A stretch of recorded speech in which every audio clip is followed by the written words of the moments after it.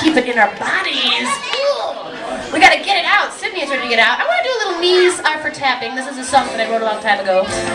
Um, here's the deal. I need some help with this one. I need you guys to be tapping your knees. Um, do you know where your knees are? Where are your knees?